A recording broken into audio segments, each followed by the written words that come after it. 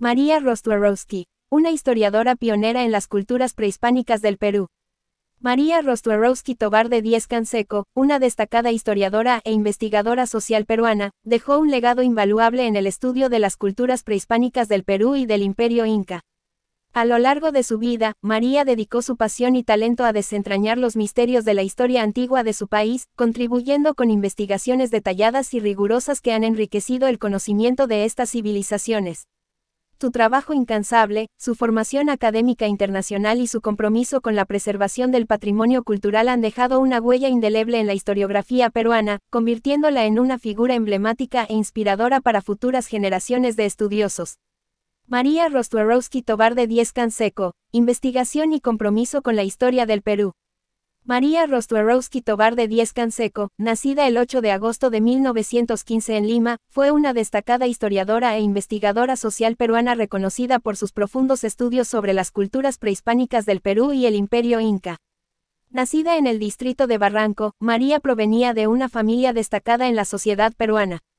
Su padre, Jan Jacek Rostworowski, era un aristócrata polaco, y su madre, Rita Ana Tobar del Valle, era originaria de Puno. Su abuelo, Agustín Tobar Aguilar, fue un senador y ministro de Estado, y su tío, Karol Hubert Rostworowski, un escritor teatral. Desde joven, María tuvo acceso a una educación internacional, estudiando en colegios privados de Polonia, Francia, Bélgica e Inglaterra, donde aprendió varios idiomas como francés, inglés y polaco. Durante su juventud, María participó activamente en las juventudes del partido político Acción Popular en Perú. Contrajo matrimonio con su primo lejano, el conde Sigmund Broel Plater, con quien tuvo una hija llamada Cristina. Tras su divorcio, se casó con Alejandro Díez Canseco Coronel Segarra, un empresario que pertenecía a una distinguida familia peruana y que influyó de manera significativa en su vocación como historiadora. Después de la repentina muerte de su esposo en 1961, María decidió tomar un nuevo rumbo en su vida. Se trasladó al leprosorio de San Pablo, en Loreto, donde trabajó como misionera bajo la dirección del alemán Maxim Kuczynski.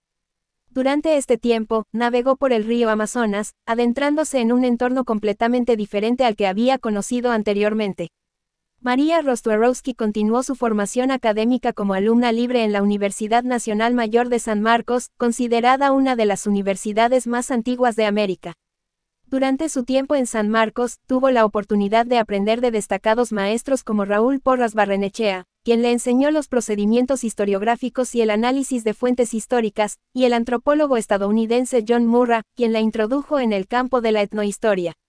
También interactuó con otros distinguidos profesores como Julio C. Tello, Luis Valcárcel y Luis Jaime Cisneros. María Rostwerowski mantuvo una estrecha relación con el Instituto de Estudios Peruanos desde su fundación y colaboró en la edición de numerosas obras bajo su auspicio.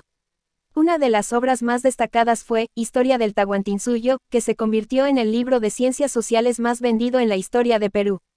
Sus contribuciones a la historiografía e historia peruana fueron múltiples y variadas. En su primer libro, Pachacute Quinca Yupanqui, 1953, destacó la importancia de este gobernante inca en la construcción del Tahuantinsuyo. Además, realizó estudios significativos sobre las sociedades precolombinas de la costa peruana, un campo poco explorado hasta entonces. También abordó temas como los estudios de género en la época prehispánica y la permanencia y cristianización de los cultos precolombinos. María Rostwerowski fue reconocida por su excelencia académica y su contribución al campo de la historia peruana. Fue nombrada miembro de número de la Academia Nacional de la Historia del Perú, ocupando también el cargo de vicepresidenta. Además, fue miembro correspondiente de la Real Academia de la Historia en España y de la Academia Nacional de la Historia en la República Argentina. Formó parte del Instituto Raúl Porras Barrenechea en Lima y del Institute of Andean Studies en Berkeley, California.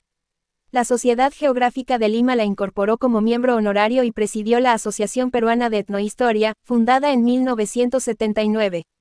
María Rostwerowski también desempeñó el cargo de directora del Museo Nacional de Historia en Perú desde 1975 hasta 1980.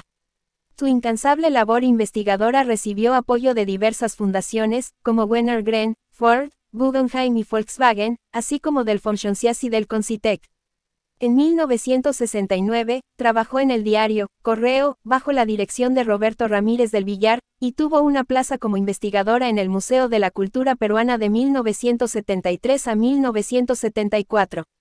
En 1983, María Rostwerowski publicó lo que consideró su obra mayor, Estructuras Andinas del Poder, Ideología Religiosa y Política, una obra que profundiza en la organización política y religiosa de las culturas andinas.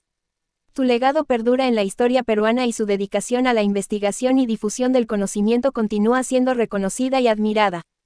María Rostwerowski falleció el domingo 6 de marzo de 2016, dejando un importante legado en el campo de la historia peruana. El candelabro, iluminando mentes.